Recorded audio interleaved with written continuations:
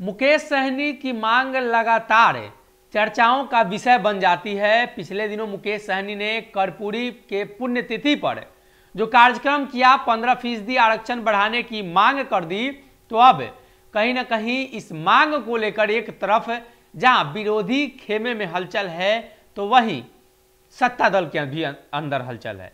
मुख्यमंत्री नीतीश कुमार से भी उन्होंने मांगे की है। और अब इसको लेकर कांग्रेस ने भी मुख्यमंत्री नीतीश कुमार और मुकेश सहनी से सवाल पूछा है। कांग्रेस विधायक दल के नेता अजीत शर्मा है, उन्होंने लिखा है, माननीय मंत्री जी, उनहत्तर प्रतिशत आरक्षण के लिए आप जो अभियान चलाने जा रहे हैं, किससे मांग कर रहे हैं? आप सरकार में हैं, फिर कौन यह अधिकार आपको देगा? क्या बिहार की जनता देगी?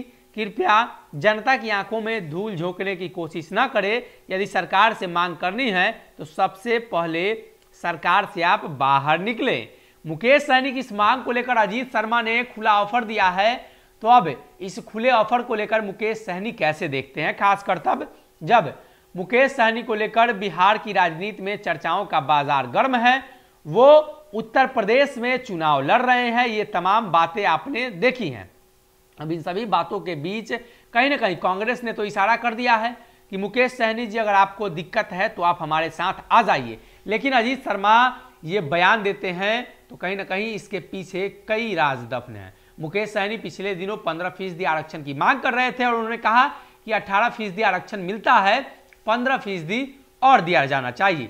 और इस मांग को उन्होंने मुख्यमंत्री नीतीश कुमार से की है। उन्होंने कहा है कि मुख्यमंत्री नीतीश कुमार के हक की बात है, उनके जिम्मे की बात है, वो इस मांग को पूरा कर सकते हैं। अब देखने वाली बात होगी कि कांग्रेस की तरफ़ से अब ऑफ़र आ रहा है तो मुकेश सहनी का क्या नज़रिया होगा और मुख्यमंत्री नीतीश कुमार उस मांग को कैसे देखते हैं? फ़िलहाल के लिए इस खबर में इतना है।